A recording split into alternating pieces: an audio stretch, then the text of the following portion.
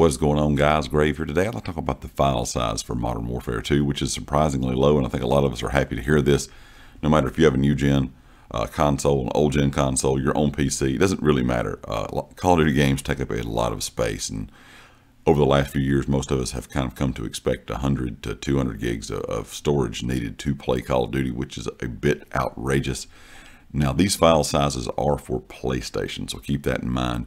This did get revealed yesterday. Now, of course, if you did pre-order the game, you can play that early access of the campaign starting today. And then, of course, multiplayer does release next week on the 28th of October. Let's go ahead and talk about these file sizes.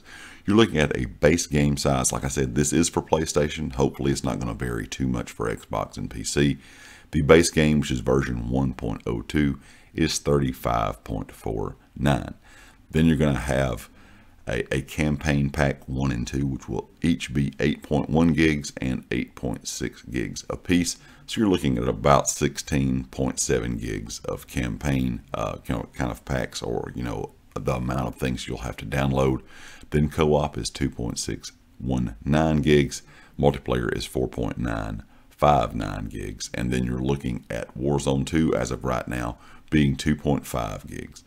So in total, not a whole lot. Uh, when you actually go in to preload the game, which you can uh, right now, like I said, if you have pre-ordered it, I went ahead and preloaded yesterday. Going to try the campaign out at some point today or the next couple days.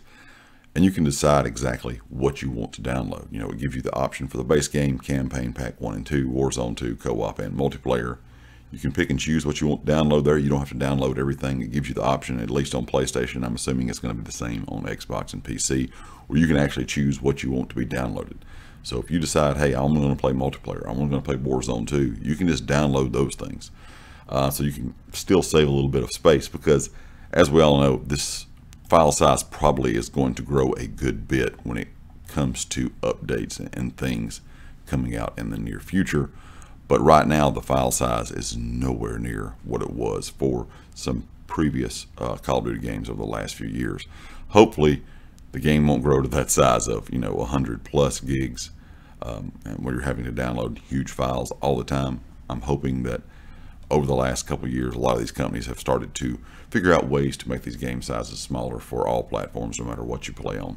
But that kind of looks like the direction Infinity Ward and Activision are going with Modern Warfare 2, and hopefully it will kind of stay that way uh, as the game moves forward over the next year or so. Anyway, guys, leave me a comment with your thoughts. And of course, if you like the video, hit the like. If you have not subscribed yet, please do so. And I'll catch you next time. Peace.